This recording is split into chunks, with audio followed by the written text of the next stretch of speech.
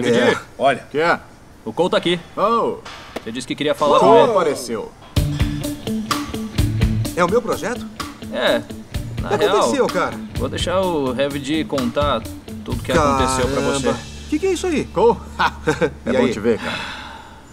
Eu Olha te só. dei 13 meses, cara. Espera, vamos explicar o que aconteceu.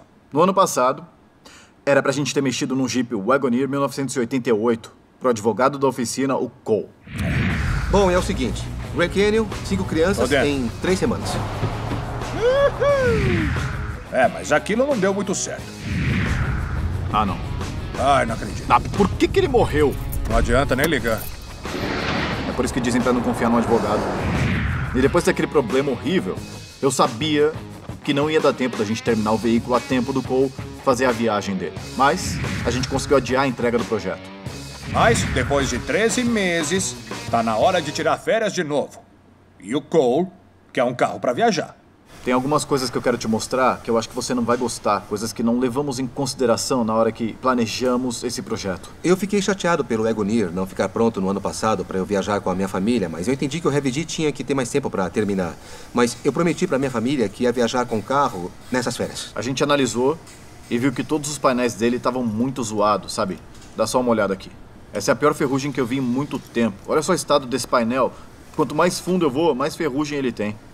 E o orçamento de 50 mil que a gente tem vai dar só pra lataria. Como ele tá zoado, minha sugestão é a gente se livrar dele e encontrar uma coisa diferente pra você. Uma coisa especial pra Algo gente com compensar por esses 13 meses.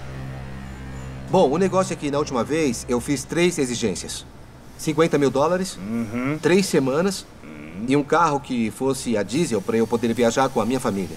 Tá, e agora? O maior problema é que a gente ainda tem que encontrar um veículo pra você. Me dá quatro semanas. Tá, então fechou. Fechou? Esse não é o melhor momento pra gente sair por aí procurando um veículo super raro, exclusivo e incrível pra compensar esse ano de espera do clube. A gente tem outros projetos que tem que entregar em prazos bem apertados, né, pra gente bem importante. Curtiram? Eu adorei. Tá linda. Estão vendo? Sim. Olha só, o Jacob DeGrom é o arremessador dos Mets. Ele viu os projetos que fizemos para a liga de beisebol, ele viu as picapes antigas que personalizamos para sorteios e ele quer uma coisa especial. Eu não sei quem ele é, mas já gostei dele.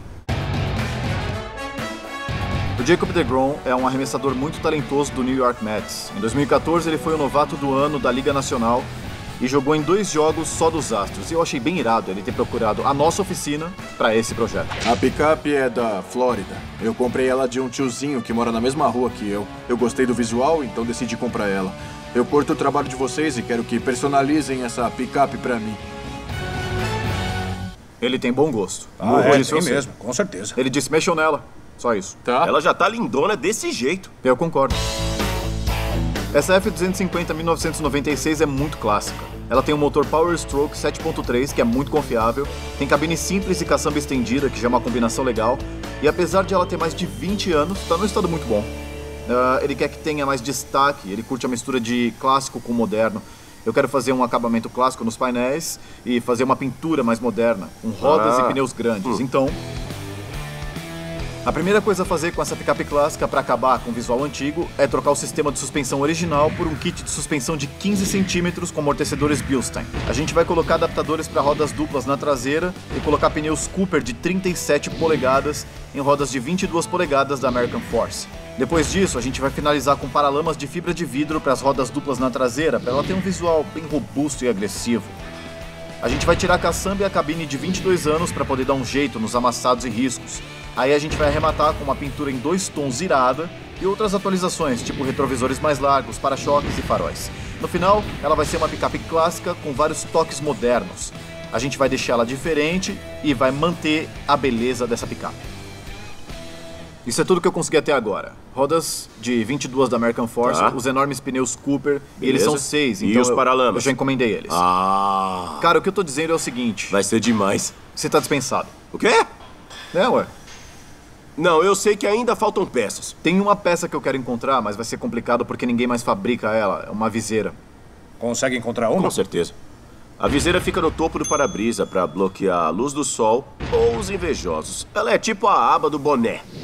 Por sorte, eu sou o cara das peças. Eu não encontro só painéis ou coisas que têm que ser parafusadas.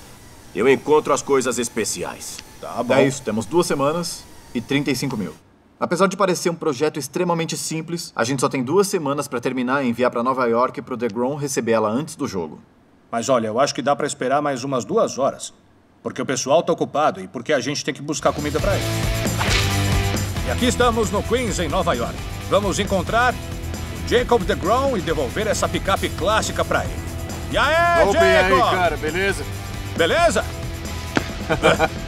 Vocês vêm pra Nova York e vêm pra um campo de beisebol? É claro, mano. A Liga Infantil nunca deixa a gente na mão. Eu queria entrar nessa liga. E aí, faz tempo que você curte picapes? O primeiro carro que eu tive foi uma picape. Não tem nada mais bonito que as Fords de carroceria clássica.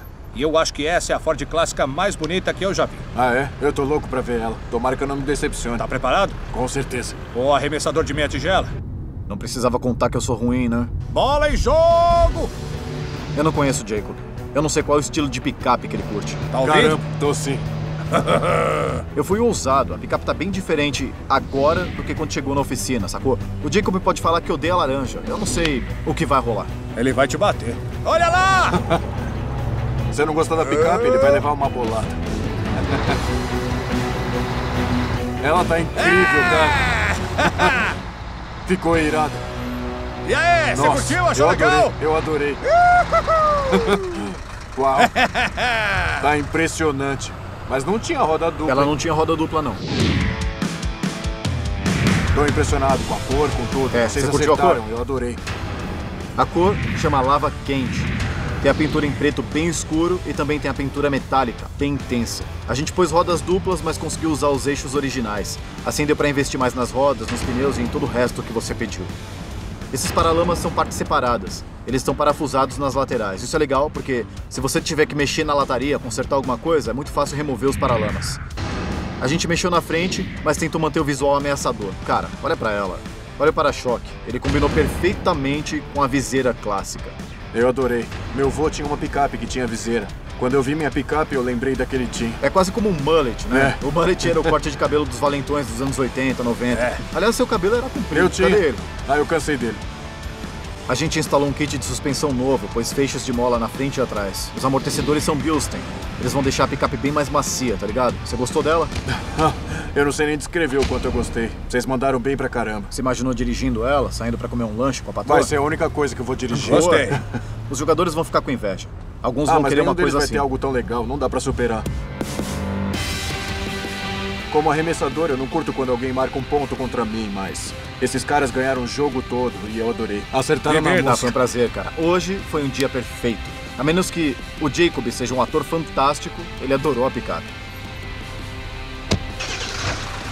Não senti falta dela. Ver o sorriso no rosto dele, fez essa viagem até o outro lado do país, vale muito a pena. Não tem nada melhor.